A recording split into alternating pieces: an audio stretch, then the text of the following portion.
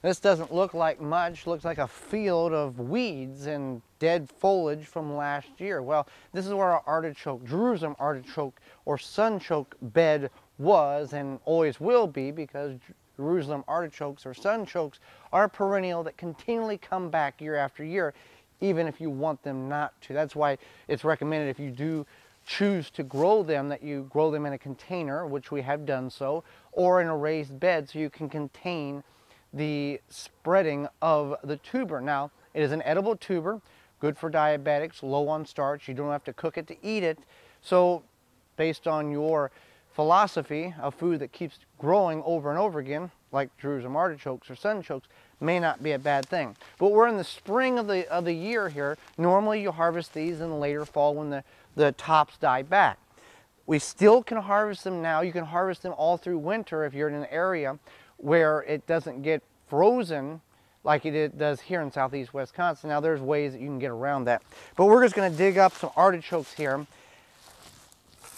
Um, we've never, this is, this bed here is approximately 10 foot wide by about 10 foot, so about 100 square feet. And we've never actually gone through the whole bed during a harvest season. There's still artichokes here that have been growing that we've never touched for three, going on four years now. So we're just gonna pick a spot here and just take our fork and see what we get. Now we're probably gonna stab some here. All right, what do we have? There we go. Took a chunk out of that one. Oh, here, there's some. Now what you're seeing here is you got a couple of things going on here. You've got the growth tip for this year's plant. You've got roots that have come off of it. These grow very similar to a potato where the sprout will, um, there, there will be energy that will be coming from the tuber and then once the, that energy once it starts photosynthesizing from the sun, it'll be detached from the tuber and this tuber will uh, rot in the soil and then all these root fibers will create more tubers. You can see here where it has, that is where it was initially attached to the plant last year. You can just cut that portion off, snap the growth tip off, and it's still good. This one here is smaller. It doesn't have anything yet.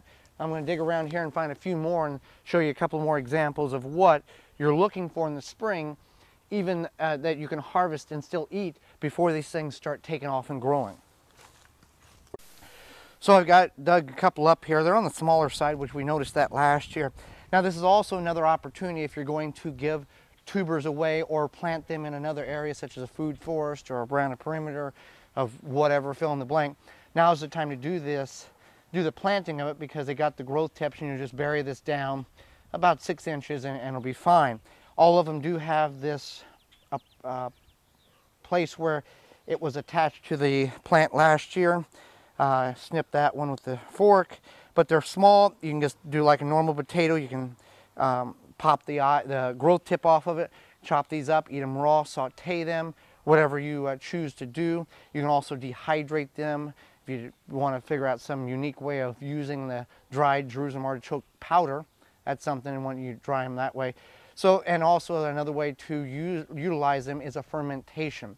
We found the best way that we found is eat them raw, as well as put them in a crock pot or a slow cooker for many hours with a roast or other and other vegetables, they become very buttery in taste, very soft in taste, and they're very, very good eating it that way. So if you've got Jerusalem artichokes, you can still harvest them now, even though that you will see some growth tips on them. They're still totally edible. You may have to cut some of the bad portions off of them, but you can still get some harvest now before they start growing, and you have to wait until fall to get another harvest.